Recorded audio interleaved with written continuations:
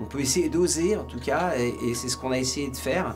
Donc on a fait le tour de plein d'associations, et puis on a euh, parlé avec beaucoup de gens qui sont en contact tous les jours, dans, le domaine artistique notamment, une, fille qui s'appelle Fatia Melal qui a fait un, travail magnifique de chorégraphie de danse avec des autistes, dont Benjamin Le Sieur fait partie.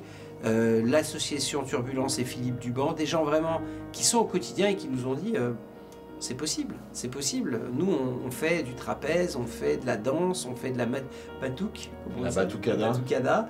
on joue des instruments, il y, a- il y a des pianos. il y a- Donc on s'est dit pourquoi pas jouer. Et donc on a créé un atelier de théâtre dans cette association, dans lequel on voyait des jeunes défiler.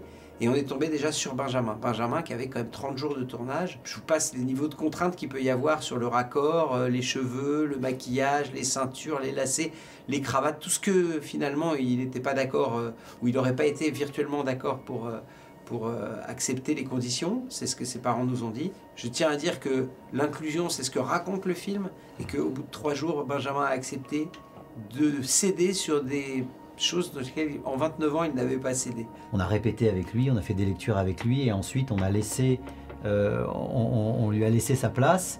Vincent a travaillé aussi avec lui, a rebondi avec lui et ça a donné euh, ces scènes euh, qu'on adore, qui sont savoureuses parce que pour nous, euh, il déborde de poésie. C'était le seul truc qui m'inquiétait réellement dans toute cette aventure, c'est je me disais comment je vais jouer avec les autistes?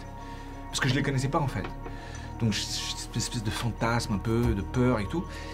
Et en fait, le premier jour, j'ai vu qu'il était content d'être là, Benjamin. Non mais c'est très important. Parce qu'en fait, comme je vous... Être acteur, c'est prendre du plaisir à jouer en fait. Et donc si le mec il est malheureux, ou qu'il est, euh, qu'il a pas envie d'être là, ou que ça l'inquiète, ou que ça le stresse et tout, c'était mort. Vraiment, c'était mort. Et moi, j'ai vu à la vitesse à laquelle il se remettait en place pour refaire la prise, j'ai vu qu'il était heureux d'être là. Et c'est ce que je vous ai dit tout de suite, c'est-à-dire que j'ai dit, les gars, on est sauvés là. Il kiffe.